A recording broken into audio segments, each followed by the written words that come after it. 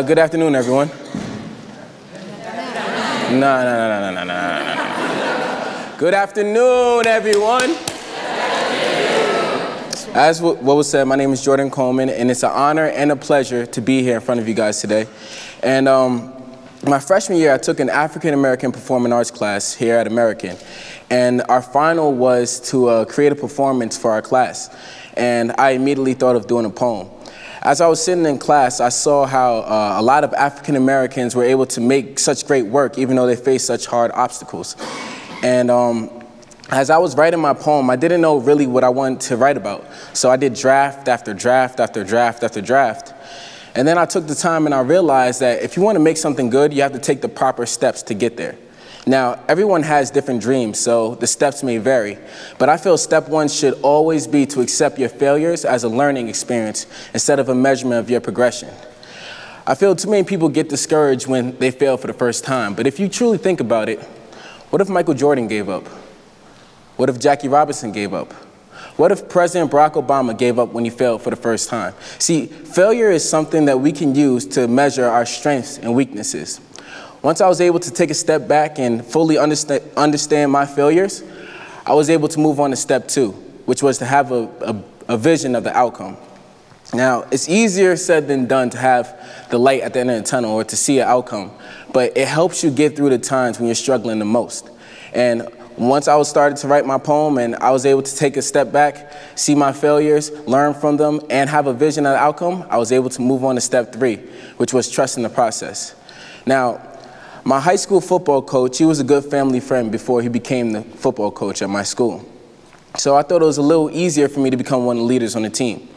Wrong. I sat the bench the first four games of the season, of my senior year, and I was pissed. I was ready to quit.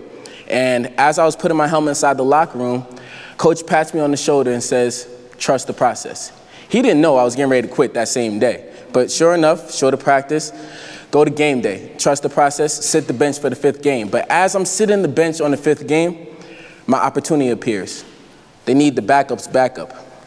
I finished that game, started the next. Next thing you know, I'm a captain. I'm being recognized as one of the top players in the league. I trusted the process. Now, the reason why I'm telling you this story is because when you're in the midst of grinding and working and trying to see your goal, you don't realize that you're preparing yourself for your opportunity when it comes. And luckily for me, I was able to trust the process, understand where I was wrong, and move on to step four, which is to have the blinders on when you're working.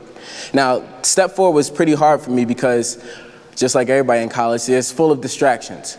And when I was writing my poem, there was a lot of different distractions that I faced. But luckily, I was able to put the blinders on and get the things done that I needed to get done. Now, step five is to finish strong. I mean, let's be honest. Whenever we see the finish line, we tend to slow down, but we can't. It's the fourth quarter. We got to get it done. We've been working way too hard mentally and physically to stop. Let's get it done. So, after I went through all my steps, I finished my poem and I recited it to the class. But by the time I was reciting it to the class, I was so mentally and physically prepared for it that I wasn't even nervous. So as I take the time to stand in front of you guys today, I would like to take the time to uh, recite my poem. Sometimes, sometimes, sometimes I sit back and wonder, is this a waste? I mean, we get lectured and forever pressured into a world full of haste and the chase to chase the American dream. But see, that's the part that got me bent. Because when they say the American dream, I'm not so sure what they meant. Because how could my American dream be the same dream that he dreamt or she dreamt? See, that logic isn't concrete in a world full of cement. You see what I'm saying? And I swear every time I have my eyes closed, I see them remembering me for multiple creations, like, like, like I'm some sort of Picasso, and God knows God knows if I get my chance, or should I say when, because then I'm speaking into existence. But when I get my chance, you're not going to miss this. For instance, the distance between me and this Hollywood entrance shows the difference between I and those who are oh so pretentious. My mother told me to whom much is given, much is expected. But it's hard to give it back the world as a pearl because the world wants a baby shot down and arrested. Drop down is the message. Black males were only meant to fail, at least that's what America the beautiful expected. So when I tell her I want to make music, she says that's foolish. Go to college, get a degree for yourself.